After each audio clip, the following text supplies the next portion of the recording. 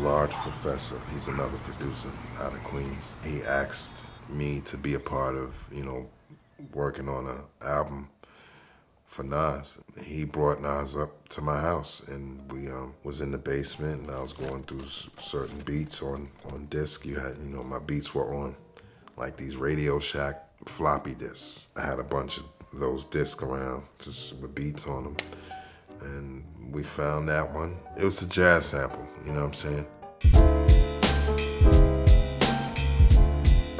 I don't even remember making that beat. I, I know I made it in the basement, but when I made it, it wasn't specifically for anyone and, and, until I played it for Nas. He started bopping his head and getting the vibe and getting the idea right then and there. It was a perfect match, you know, with his lyrics, you know, that beat.